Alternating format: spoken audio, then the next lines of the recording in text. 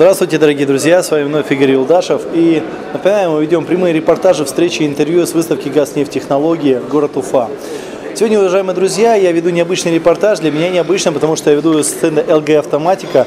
Для меня это предприятие, прежде всего, которое сочетает в себе и наука, и производство, и, конечно же, гениальные идеи и решения, которые вот сейчас стоят э, за нашими спинами. И моим сегодняшним собеседником будет генеральный директор ЛГ Автоматика Михаил Олегович Делонов. Здравствуйте, Михаил Олегович. Ну, буквально вот недавно мы с вами общались, и, собственно говоря, мы побывали на ваших предприятиях, на обоих производственных площадках. Очень понравилось, очень впечатлило. Но, тем не менее, хотелось бы спросить, какие изменения на вашем предприятии за последние полгода прошли? Суть по всему, у нас не так много производителей, потому что мы недавно встречались, и снова второй круг. И вы снова у нас, да, снова к нам приезжаете. Ну, в принципе, мы за год двигаемся. Мы двигаемся с точки зрения номенклатуры, с точки зрения, прежде всего, электроники, включения электроники в э, наше изделия и, скажем так, расширение области применения за счет э, создания более, ну, э, слоган, конечно, слоган интеллектуальной, да, продукции. Это, конечно, существует. Существует развитие э, с точки зрения рынков, существует развитие международное с точки зрения применения, но в принципе э, на сегодняшний день можно сказать достаточно точно, что э, вопрос импортозамещения наталкивается на простую вещь, что одного желания достаточно мало. Кроме желания, конечно, нужна, э, нужны условия. Это опять старая песня про лицензиаров. Мы все время, последнее время участвуем в совещаниях и в каких-то, что плюс, да, плюс, конечно, импортозамещение, что на, это, на эту тему стали приглашать, э, начался какой-то диалог, но тем не менее он пока достаточно тупиковый по причине того, что большинство м, технологий, лицензий и так далее все-таки импортные, и, в общем-то, м, надо сказать, существует достаточно э, серьезная борьба борьба э, импортных лицензиаров с возможностью применения отечественного оборудования. То есть это, э, это даже не анализ, это именно борьба. А, она идет с переменным успехом, но тем не менее движение в этом есть. Вот это есть, конечно, плюс. На импортных рынках, на зарубежных, ситуация это гораздо сложнее, потому что вот этого слогана импортозамещения там нет. Поэтому вопрос э, применения оборудования неизбежно наталкивается на вопрос э, глобального отношения того или иного зарубежного лицензиара, который, как правило, имеет уже договора, э, проект, приблизительный объем применения оборудования не сказать даже и какие-то платежи с точки зрения лицензионных там соглашений.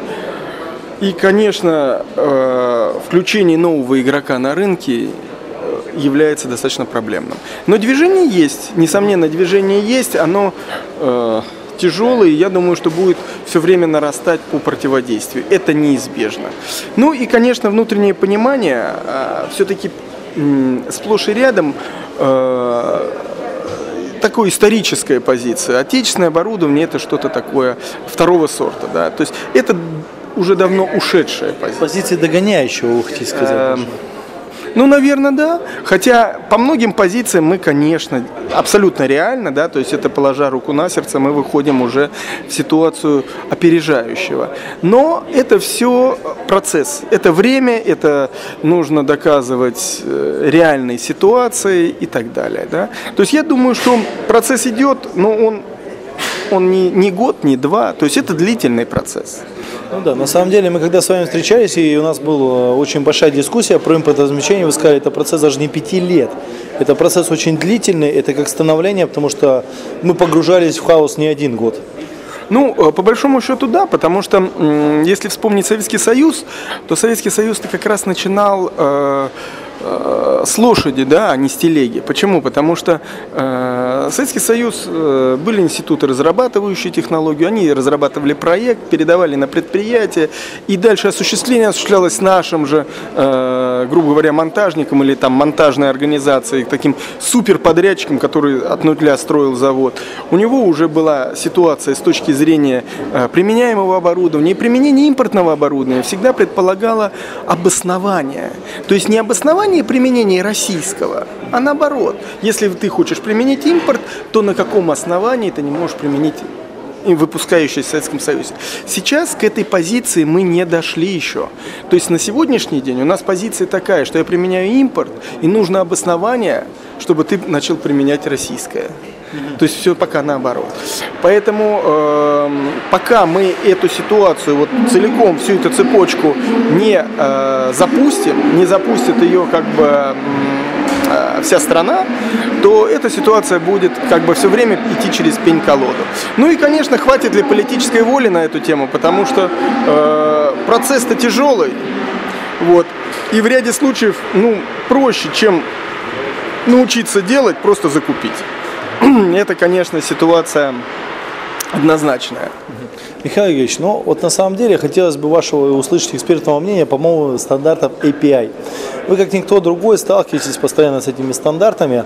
И возник вопрос, а что если завтра в политических событиях этот стандарт возьмут и отменят для конечных потребителей, для «Газпрома», для «Роснефти», разработают на их основе а, новый стандарт, внутри э, стандарта, вот как типа ОТТ, ЕТТ, СТО, и просто скажут, ребят, API в нашей стране теперь не имеет силы.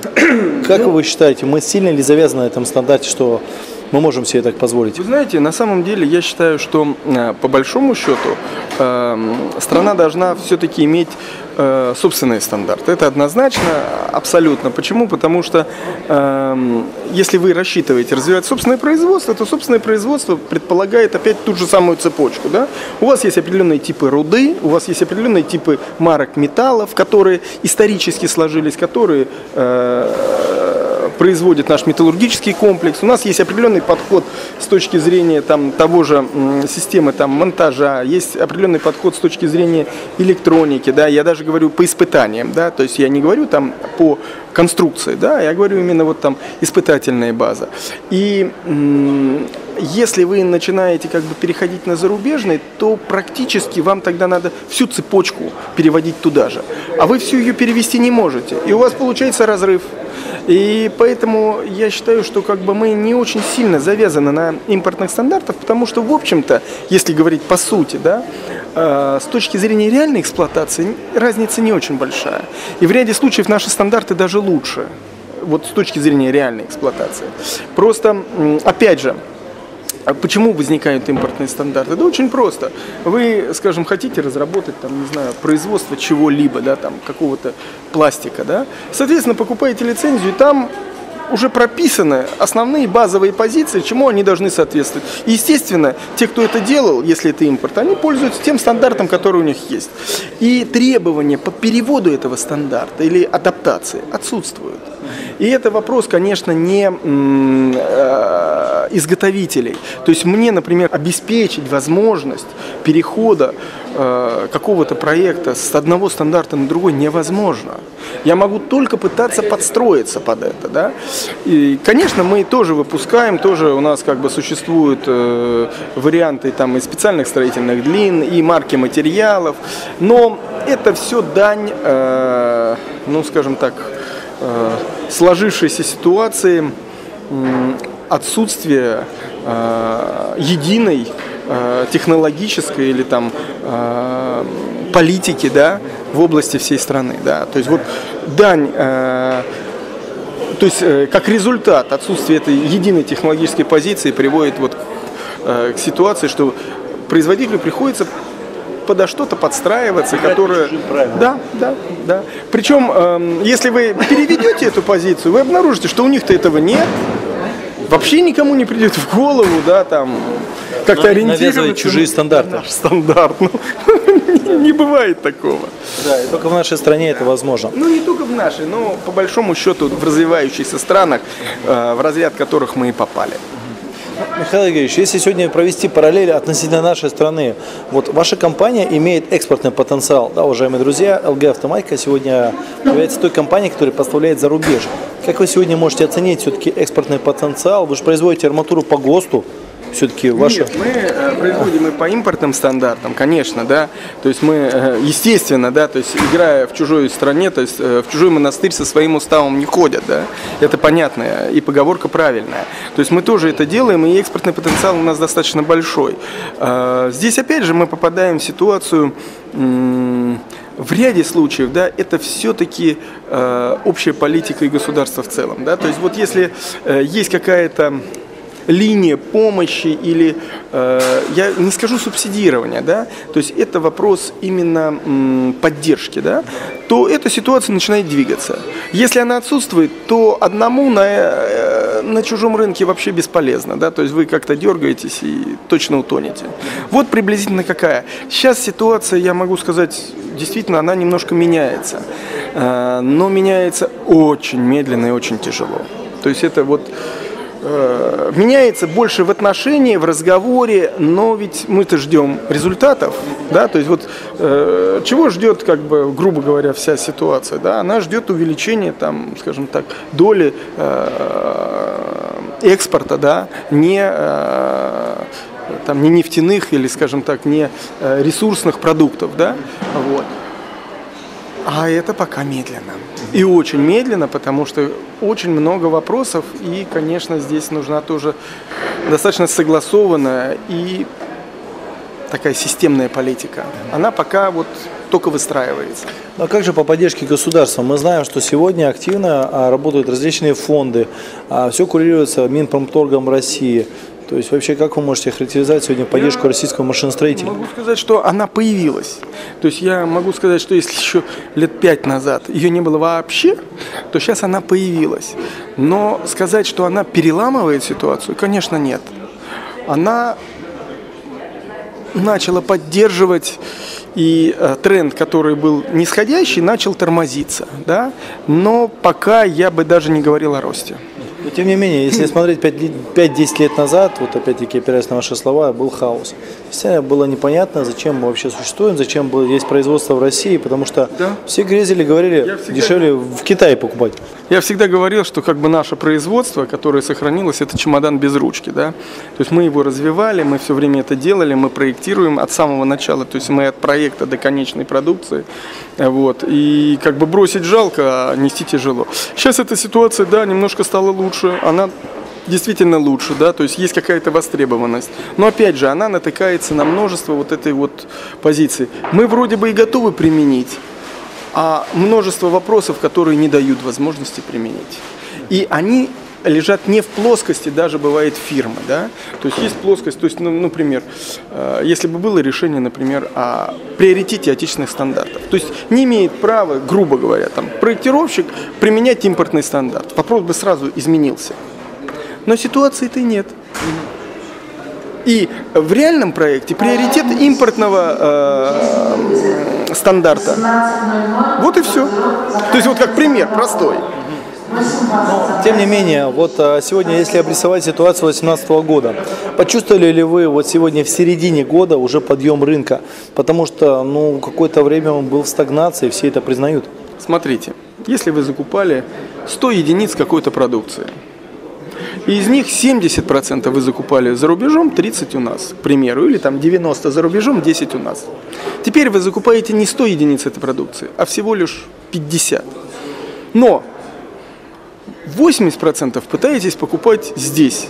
И номинально вы покупаете в России, ну, грубо говоря, 40 уже единиц этой продукции, а раньше покупали 30. И у вас как бы рост, но рост этот немножко Мизерный. обманчив. Потому что э, с точки зрения как бы общего роста промышленности э, такого яркого ощущения нет. То есть есть определенная ну, скажем, такое торможение падения. Вот я сказал, да, то есть торможение падения есть, а роста, вот прям бурного роста, конечно, нет. Это, кстати, видно, вот сейчас прошла выставка по механообработке в Москве, достаточно большая. Можно по ней пройти и посмотреть по ней, это же машиностроение, сразу видно, да, кто представлен.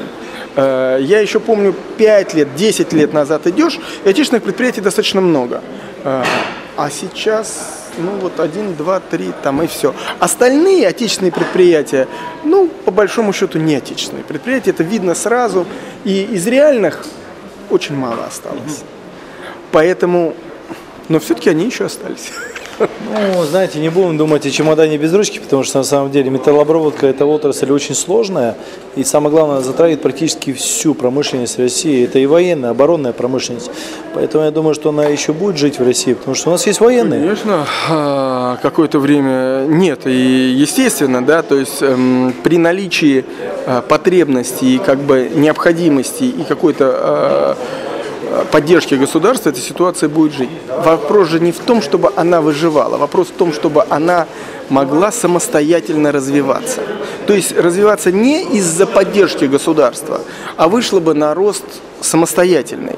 А для этого, в общем-то, э, нужны не сколько адресная поддержка, да, то есть, знаете, как говорится, как э, в известной такой притче, да, что можно накормить рыбы, а можно научить ее ловить.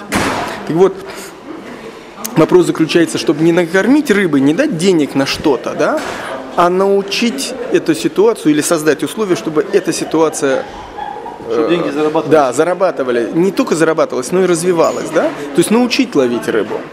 Вот. А сейчас мы больше движемся по системе, значит, накормить.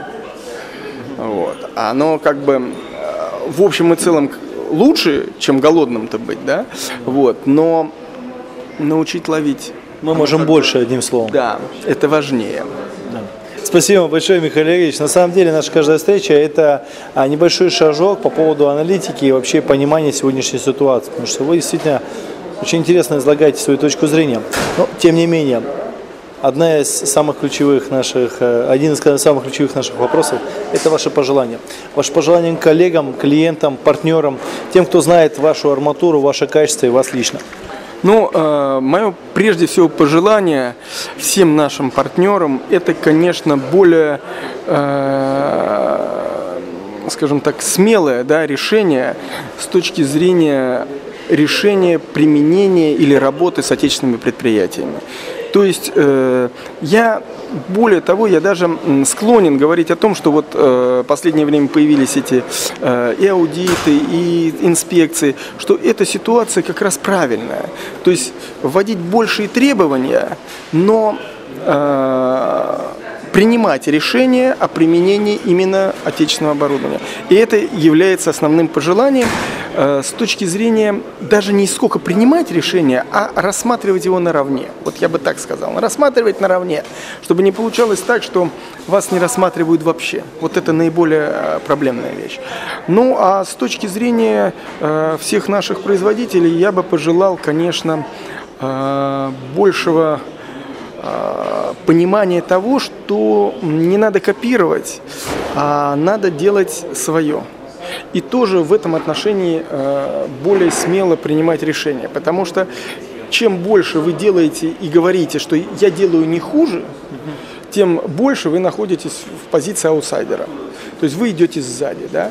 То есть всегда надо делать что-то свое, и это по ряду позиций всегда будет и отличаться, и будет новым. И в этом отношении я думаю, что это основной путь. Потому что э, вот эта вот позиция, например, э, а вы можете сделать так же, как там кто-то, да, она неправильная. Вот в этом отношении э, нужно всегда исходить из позиции, что вот я делаю вот это, и мы можем сравнить, насколько это лучше, насколько это хуже. Но это не копия вот этого. То есть вот это вот э, движение э, по копиям, оно неправильное. Уважаемые друзья, ну и самое главное, конечно, верить в свои силы, в свои возможности и понимать, что делаешь какое-то благое дело. Самое главное, что, знаете, сегодня уже присутствует в наших э, производителях, в их глазах, в их, собственно говоря, мнении, это уверенность в своих силах то, что мы не можем быть хуже. Мы можем быть только либо наравне, либо лучше. И этого я тоже посоветую, как и Михаил Олегович, вам в ваших делах. И, конечно, помните, что мы живем в большой, великолепной стране, которая первым запустила человека в космос. И, конечно, была одно время самой первой, самой передовой. Одно время. Удачи вам, развития и, конечно, новых...